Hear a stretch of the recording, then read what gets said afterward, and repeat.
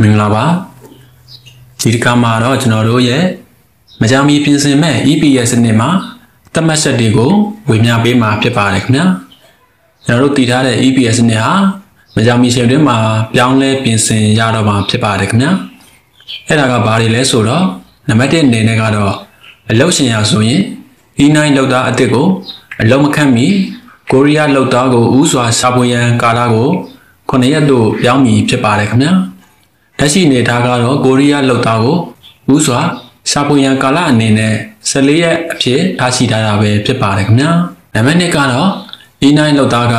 6လအတွင်းအလုပ်ပြောင်းရွှေ့ခြင်းသို့မဟုတ်အလုပ်မှာထွက်ပြေးပါကအလုပ်ရှင်အားဆိုရင် E9 လောက်သားကိုဓာတ်ရိုက်ခန့်အပ်နိုင်မှာပဲဖြစ်ပါတယ်ခင်ဗျာလက်ရှိအနေထားမှာတော့ E9 လောက်သားအသေးမခန့်မီကိုရီးယားလောက်သားကို14ရက်တာဦးစွာရှာဖွေရမည်ဖြစ်ပြီးတော့14ရက်အတွင်းမှာမှ ကိုရီးယားလောက်သားအလုံးမခန့်ပြတ်မှသာအလုံးလာမဆောင်မှသာ E9 လောက်သားအသစ်ကိုခံဝင်ရှိမှာပဲဖြစ်ပါတယ်ခင်ဗျာနံပါတ်3အနေနဲ့ကတော့အလုံးသမားရဲ့ရှို့ရင်းကြကြမဟုတ်ဘဲနဲ့နောက်အလုံးတို့ပြောင်းလဲရသူဟာဆိုရင်ဗီဇာတက်တန်း3နှစ်ပြည့်၍စက်ရုံတစ်နှစ်နောက်ထပ်တစ်နှစ်ဆယ်လစာချုပ်ထပ်ချုပ်လိုပါကစက်ရုံတစ်မှာလောက်သက်တလားအောက်ဖြစ်လဲစာချုပ်ထပ်ချုပ်ပိုင်ခွင့်ရှိပါတယ်ခင်ဗျာ အလို့သမားရဲ့ရှို့ရင်းချက်မဟုတ်သည်များမှာဒေဝါလီခံရခြင်း EPA လောက်တာခံငွေရုပ်သိမ်းခံရခြင်း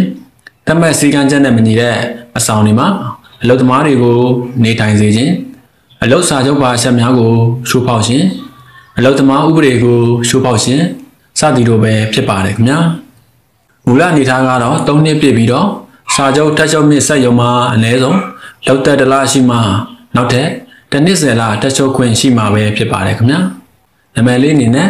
ပြောင်းရွှေ့သတ်မှတ်ထားတာကတော့အလို့ပြောင်းရွှေ့ရန်လျှောက်ထားခြင်းအားဖြည့်ရှင်းတဲ့ကာလကို15ရက်သတ်မှတ်ပြီးတော့တက်တန်းတစ်ကြိမ်ထပ်တိုးနိုင်ပါတယ်အလို့ပြောင်းခွင့်ပြုတ်မပြုတ်အား15ရက်အတွင်းမှာဆုံးဖြတ်ပေးမည်ဆိုတဲ့သဘောပဲဖြစ်ပါတယ်ခင်ဗျာမူလအနေနဲ့ကတော့အလို့ပြောင်းရွှေ့ရန်လျှောက်ထားခြင်းကိုဆောင်ရွက်တဲ့ကာလသတ်မှတ်ထားခြင်းမရှိသေးပါဘူးခင်ဗျာ နံပါတ်5အနေနဲ့ပြောင်းရွှေ့သတ်မှတ်ထားတာကတော့အလုပ်ရှင်ဟာဆိုရင် EPA လောက်သားအတုံးခွင့်ပြုရန်လျှောက်ထားလာကိုလောက်သားနေထိုင်ရန်အဆောင်နေထားကိုလိန်လဲရေးသားခဲ့ပါကတတ်မှတ်စည်းကမ်းချက်နဲ့အညီအဆောင်မျိုးတွေမှာလောက်သားများကို နေထိုင်စေပါက EPA လောက်သားအတုံးပြုခွင့်အားလုတ်သိမ်းပေးမည်ဖြစ်ပါတယ်ခင်ဗျာ